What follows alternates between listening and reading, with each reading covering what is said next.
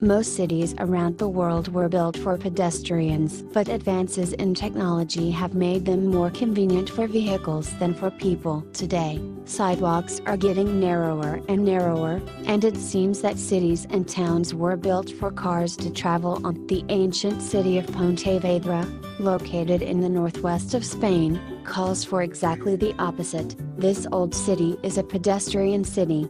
True, only in its center, but the idea is still impressive. Some legends about Pontevedra suggest that the city was founded by the Trojan hero Dacron, but it is hard to say whether these legends are true or fiction. Some historians claim that Pontevedra was part of an early Roman road. The Roman name for Pontevedra was Ad Duos Pontes, indicating that it was a city of bridges. Pontevedra has had its ups and downs since then. However, in its present state, the city is famous for having become completely pedestrian. In 1999 the place became car-free.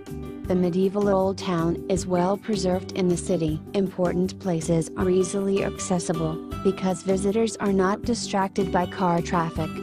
Main attractions the Chapel of the Virgin Pilgrims is a beautiful building built in 1792. The architecture of the church is a mixture of Baroque and Neoclassical. Visitors can climb the stairs and the dome, where they can see impressive views of the city.